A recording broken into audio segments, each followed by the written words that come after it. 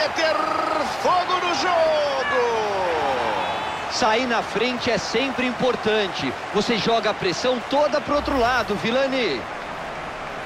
Tudo começa com a roubada de bola e a boa armação do contra-ataque. E aí ele soltou uma bomba de lá mesmo.